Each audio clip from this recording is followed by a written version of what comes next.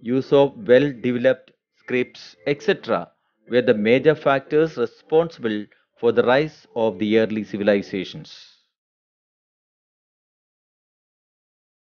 These civilizations came into existence in roughly the same period, that is, around 3000 BC, in four regions of the world.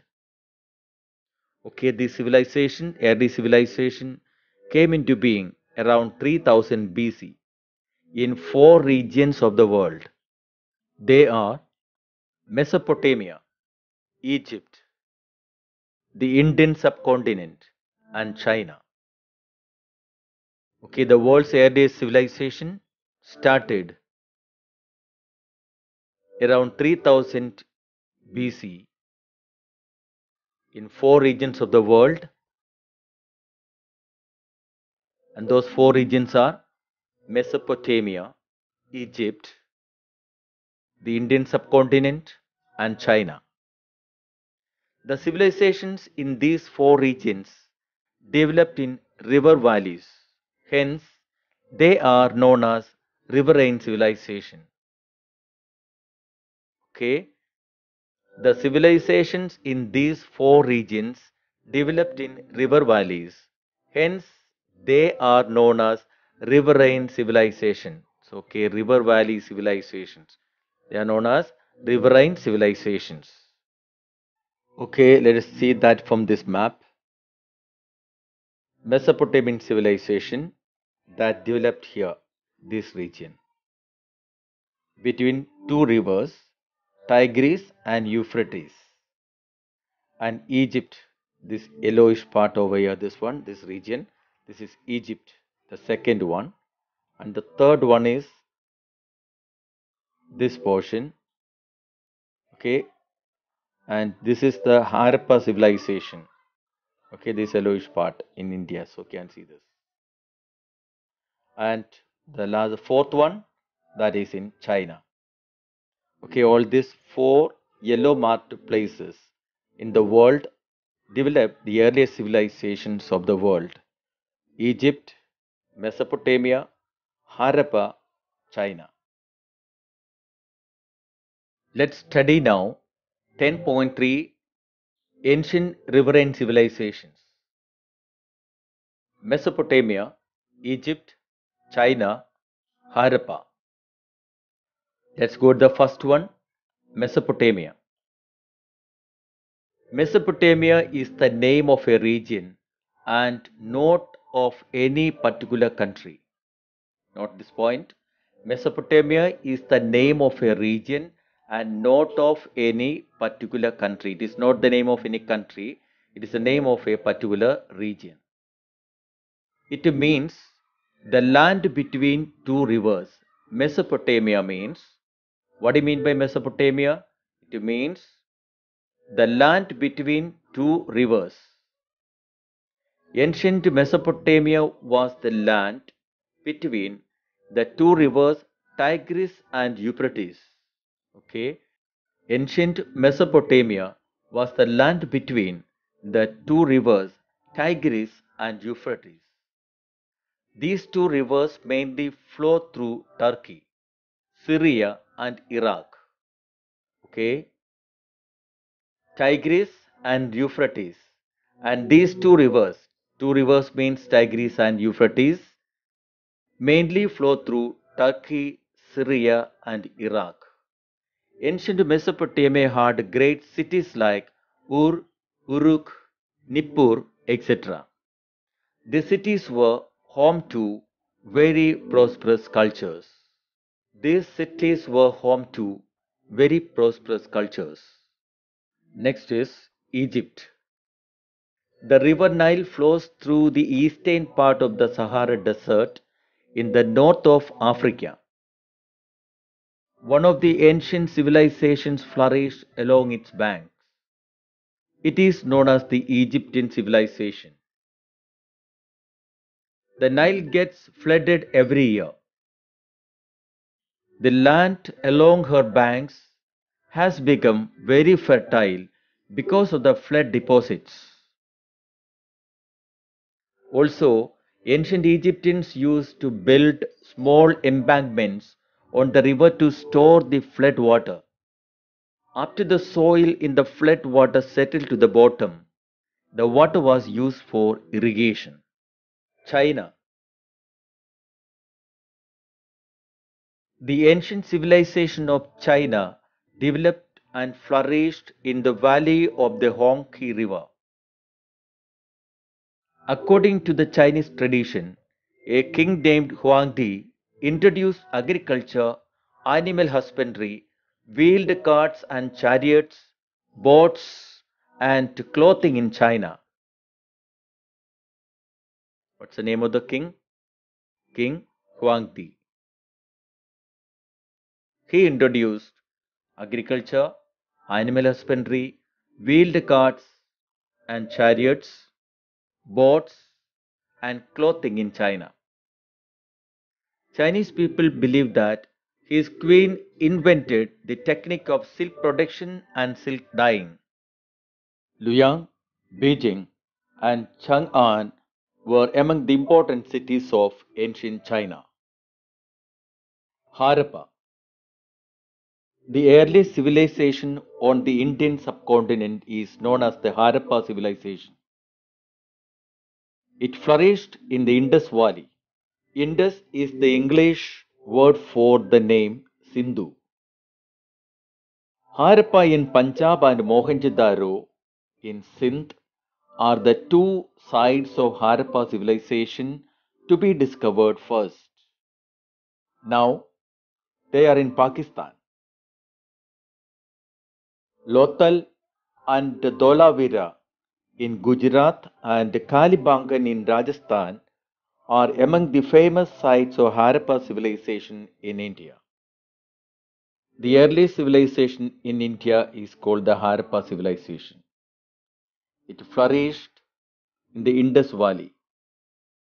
Okay, Indus is the English word or the English name for Sindhu. Harappa in Punjab and Mohenjo-daro in Sindh are the two sites of Harappa civilization to be discovered first. Let's see the important cities now. Lothal and Dholavira in Gujarat and Kalibangan in Rajasthan are among the famous sites of Harappa civilization in India. Cities of this civilization are well known for their systematic town planning.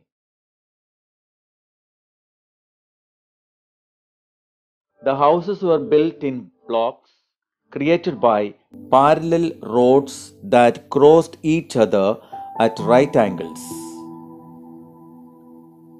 Okay, you can see the cities of this civilization, the Harappa civilization, are well known for their systematic town planning.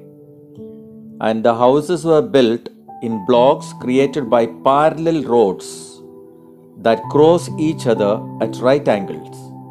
Huge granaries and spacious houses were the special features of these cities. There were bathrooms and latrines in every house and a covered drainage system which indicates a concern for public hygiene. The city was well maintained. There was covered drainage system in Harappa. Also, bathrooms and latrines were there in every house.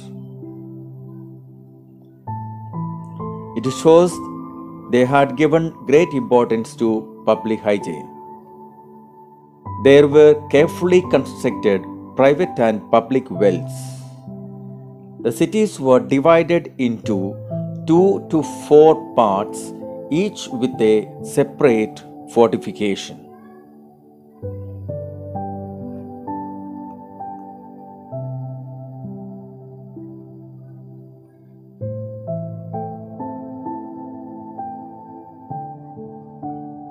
The characteristic earthen pots of the Harappans are well baked, red in color, and with beautiful designs like pipal leaves and fish scales. When tapped, these pots produce a metallic sound. The Harappan craftsmen were highly skilled in making bronze objects and beads from semi precious stones of various colors.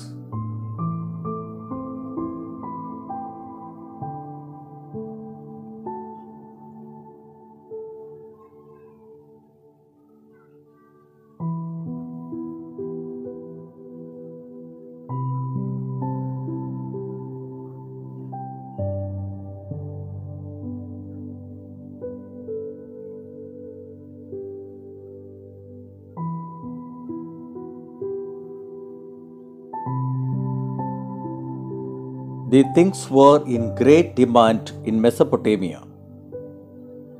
The names of Harappan gods and goddesses are not yet known. However, we know with the help of the Harappan seals and clay figures that they worshipped Pashupati, Pashupati, Lord of all living animals, and a mother goddess.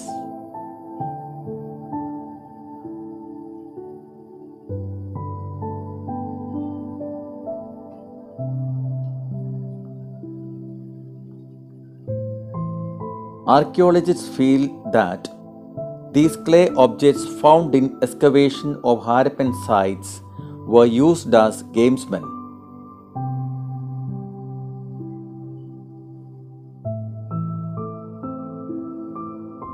They used all these objects in their games.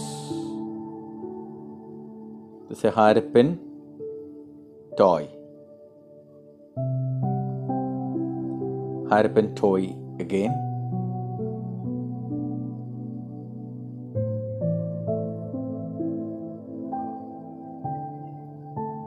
The gamesmen used in the games. 10.4 Sports and Entertainment.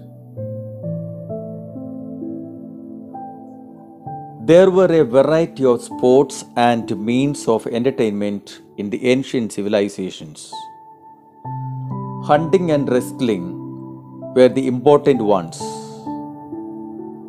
Games played with the help of game boards and gamesmen were also popular. In ancient Egypt, people played a game that was similar to chess. This game was played with a game board and gamesmen. Okay, chess, you know, the modern chess we play on a board. The same way, a similar type of game was played by the people of Harappa. Okay, this game was played with a game board and gamesmen. It was known as Senet. In ancient China also, there were many games played with boards and gamesmen. Similar games were popular in Mesopotamia and the Harappan civilization too. Many toys were found in the excavations of Harappan sites. They include whirls, whistles, rattles, bullock carts, animals, and birds on wheels, etc. Music and dance were also very important in early civilizations. They were an essential part of celebrating a festival. Ancient people used many types of musical instruments. In Mesopotamia, a stringed instrument known as balang was very popular. Let's see the music instrument. Okay, this is the music instrument found in Mesopotamia.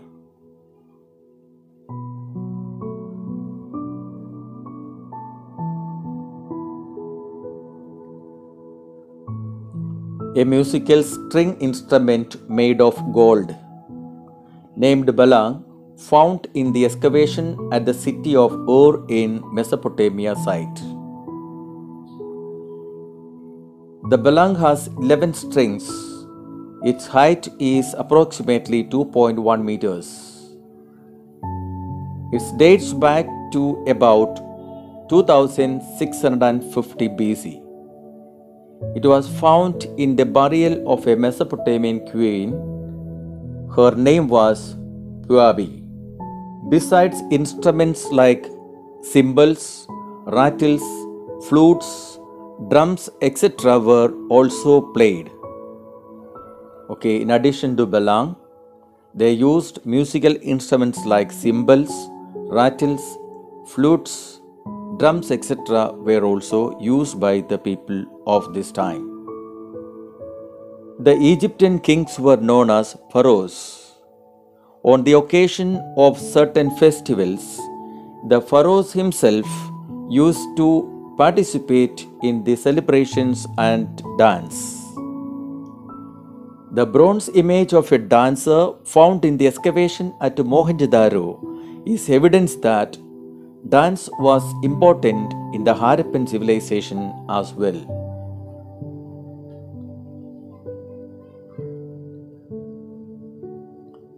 Till now, we have learned in brief about the history of human civilization from the Stone Age to the early civilizations.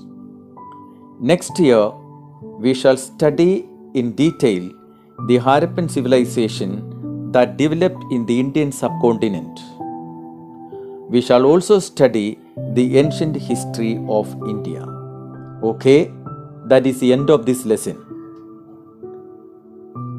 I request everybody to read the chapter, take your textbook, the last chapter, chapter 10, and read the textbook again and again Slowly take your own time. Don't hurry. Slowly you read the textbook and try to understand all the details. As it is our last chapter, from my next videos, I will be giving you questions and answers. I welcome all of you to my YouTube channel and uh, I can upload the videos there. You can make use of that videos and whenever I upload the videos you can get a notification if you subscribe and press the bell icon. So I hope to meet you there. I invite and welcome all of you to my YouTube channel. The channel name I change. The channel name is Teacher Roshni and AK Sir. Teacher Roshni and AK Sir. So you can search for that channel on YouTube and you are most welcome there. Okay everyone. See you all in the next video. Till then, all of you take care. Bye bye.